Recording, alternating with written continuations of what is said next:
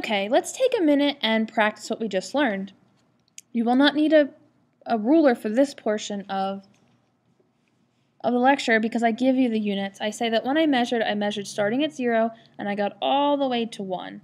Uh, when you do your problems online, I want you to make sure that you identify what the starting point and the stopping point is. Sometimes the ruler will say starting at 3 and ending at 4, and the red line will be, let's say, right here. So it would be, if it starts at 3, it would be 3 and something because I've passed 1, 2, and 3, and now I'm measuring down. So please take a minute to try all six of these problems. Uh, pause your video, and when you're ready, push play, and we'll go through the answers together.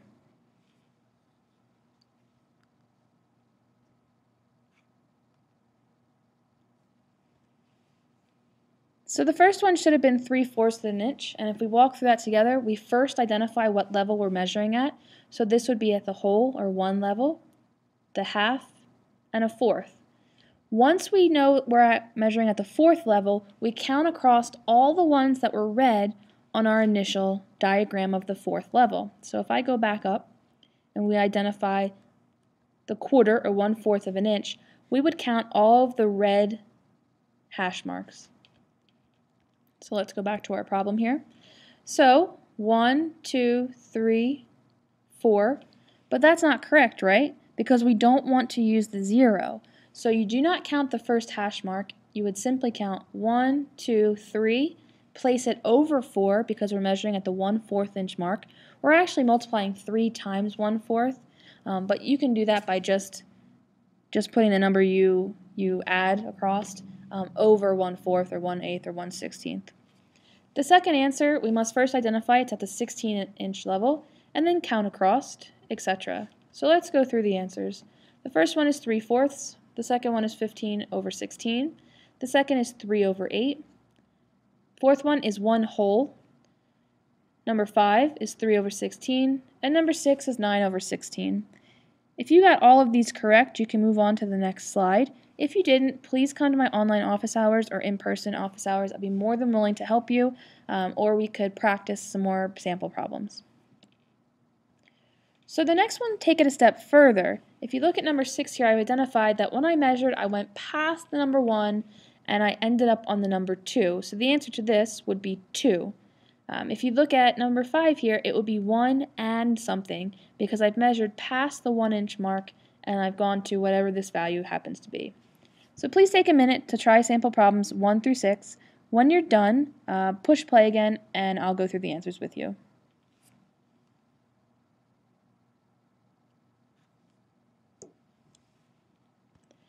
Okay, so number one is 1 and something because I've passed the 1 inch mark as I was measuring. We can identify it at the whole, half, one-fourth, one-eighth inch level. And then we're going to count all the hash marks across, skipping the first one. It never counts. So one, two, three, four, five. So we should have 1 and 5 eighths as our answer.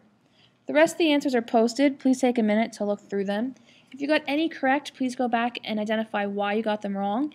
If you're confused, as always, please come to my online office hours or in-person office hours.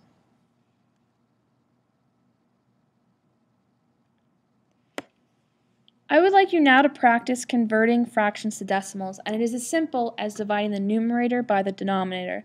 So when I converted 1 16th to 0.0625 inches with my calculator, I did 1 divided by 16 equals 0.625. I would like you to go through this chart and confirm that all of the answers are correct on the right-hand side. If they're not correct, you're going to have to fix them in your notes.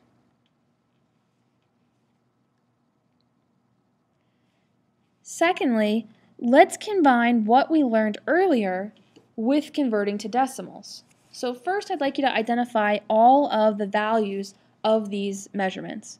What does it equal? Make sure you pay attention to the measurement. Is it one and or is it part of a fraction? Once you have a fraction, you're going to convert it to a decimal. So let's walk through number one together. Number one starts at zero, so when I measure, I have to first identify what level I'm measuring at. And I can see it's a 1 16th inch level, but we can always count down, right? So we have the whole, half, 1 fourth, 1 eighth, and then the 16th inch level. Then we'll count across and count all the hash marks except for the first one. 1, 2, 3, 4, 5, 6, 7, 8, 9. So the fraction for this would be 9 over 16. But the decimal would have to be 9 divided by 16. And what does that come out to? Please take a minute to complete all six of these problems.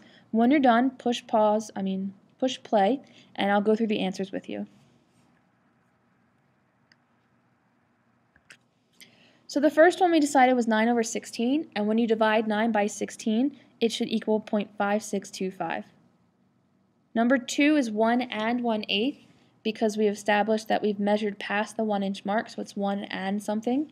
And then this is 1 eighth. It's at the eighth inch level, and it's the very first one that we count when we count across. So I can convert this to an improper fraction and divide, so I could convert this to 9 over 8, divide 9 by 8, and I would get 1.125. Or whenever you have 1 and something, 3 and something, you can rewrite this as a decimal. It's 1 and becomes point, so 1 point and whatever 1 divided by 8 is. In this case, it's 1.125. Please take a minute to read through the following answers. If you got them all correct, you can keep moving forward. If you got any wrong, just like always, please stop and go back and review. And if you're still having difficulty, please attend my online office hours.